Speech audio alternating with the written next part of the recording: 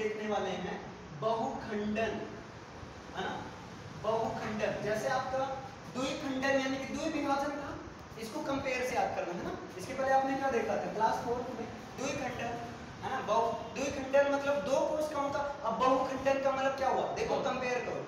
द्वि विभाजन होता है, अनुकूल परिस्थितियों में होता है। समझ पा रहे हैं ना? लेकिन बहुखंडन होता है, प्रतिकूल परिस्थितियों में होता है। किस परिस्थिति में होता है? प्रतिकूल परिस्थितियों में होता है ये चीज़। प्रतिकूल परिस्थितियों में होता है। क्लियर है? आपने देखा था द्विविभाजन किसमें? अमीबा, है ना? पैरामीशियम में पाया जाता है। ये भी अमीबा पैरामीशियम यूग्लिना इन सब में पाया जाता है। अमीबा पैरामीशियम इसमें पाया जाता है है ना? लेकिन अंतर यही है कि ये जब जनन पाया जाता है तो ये कैसा होता है प्रतिकूल परिस्थिति। द्वि विभाजन कैसा था? अनुकूल परिस्थिति। और देखो द्वि विभाजन आपका लैंगिक जनन का प्रकार था या अलैंगिक जनन का प्रकार? अलैंगिक सेम ये भी क्या है? अलैंगिक जनन का प्रकार है। अलैंगिक जनन का प्रकार है। बोलो इतना क्लियर है? वहाँ द्वि विभाजन में क्या होता था? जीव अनुकूल परिस्थिति आने पर दो भाग में विभक्त होकर, प्रत्येक भाग से नई संकट कोशिकाओं का निर्माण करता था। परंतु यहाँ पर क्या है?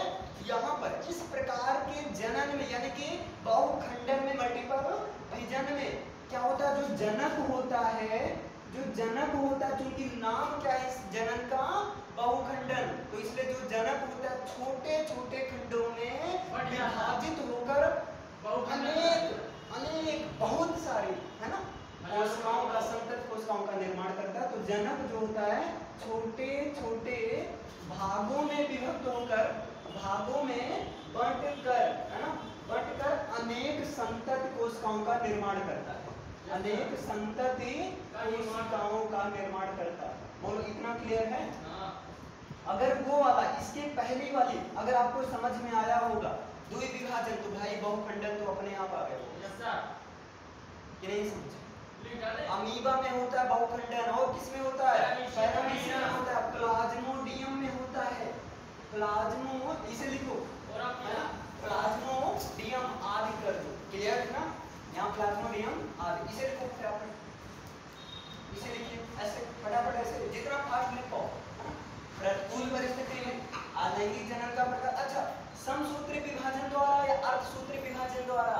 समसूत्री विभाजन द्वारा होता है ये चीज़। यहाँ पर समसूत्री विभाजन यानी कि माइटोसिस द्वारा। समसूत्री विभाजन यानी कि माइटोसिस के द्वारा होता है। समसूत्री विभाजन यानी कि माइटोसिस।